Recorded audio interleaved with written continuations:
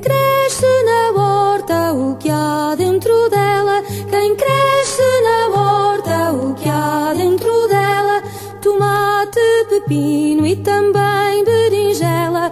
Tomate, pepino e também berinjela. Quem são os mais verdes? Quem é que eles são? Quem são os mais verdes? Quem é que eles são? A